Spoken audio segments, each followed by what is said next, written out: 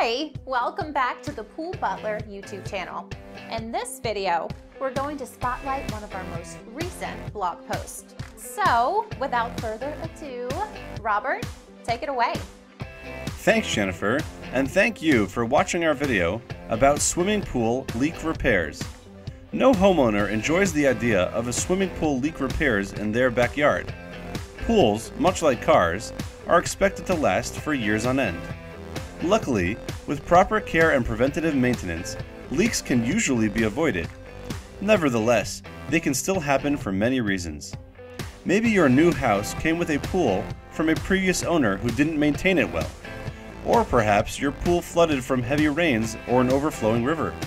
Then again, if your pool was laid in the ground a decade or two back, you may be contending with structural deterioration depending on the quality of materials used to construct your pool and deck.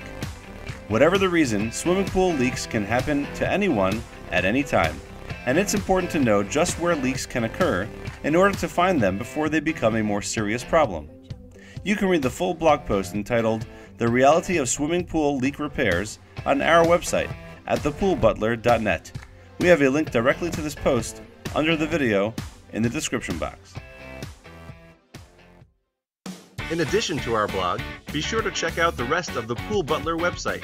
We have over six sections dedicated to helping you learn more about us and why we are the absolute best choice for all of your swimming pool maintenance, cleaning, and repair needs in Atlanta. Do you have swimming pool questions? No problem. On our website, you will find tons of answers, customer testimonials, our contact information, and multiple pages that highlight the swimming pool services we offer, including eco friendly solutions. After visiting us online, email or call us directly, and we will be happy to answer any swimming pool questions you might have.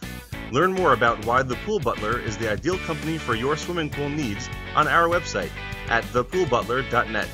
And finally, make sure to check out the description box below this video, where there's a lot more information, including links to our website and social profiles.